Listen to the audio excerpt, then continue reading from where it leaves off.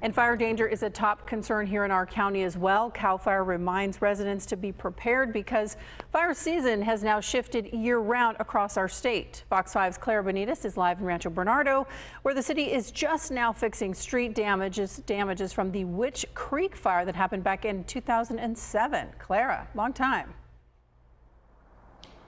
A long time, Misha, and good evening to you. Well, this community was greatly impacted by that fire, and they're still recovering. More than 300 homes did burn during that 2007 fire. Now, CAL FIRE says that residents should not be alarmed when they hear that the Santa Ana winds will be blowing, but instead be prepared in case of an emergency. What we're seeing now is really a year-round fire season statewide. Captain Thomas Shoots with CAL FIRE San Diego says over the last 10, 20 years, there has been a shift in fire seasons. We'll get little pockets of, of uh, hope where we don't have uh, as much fire activity when there's snow on the ground, um, when it's downpouring rain, of course. But really, those events are just buying us some time. An example of a fire that can start anytime the Colorado fire.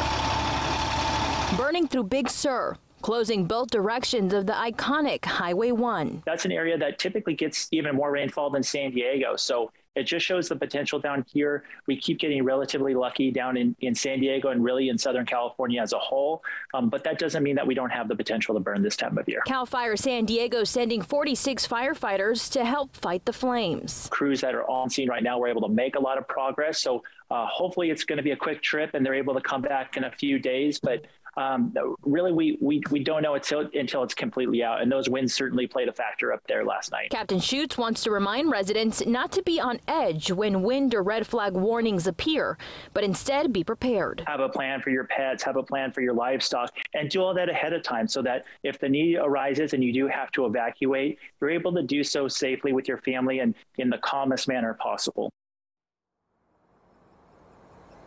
According to the, to the National Weather Service, the windiest places will be in the Inland Empire, close to the Santa Ana Mountains. But reporting live here from Rancho Bernardo, Clara Benitez, Fox 5 News.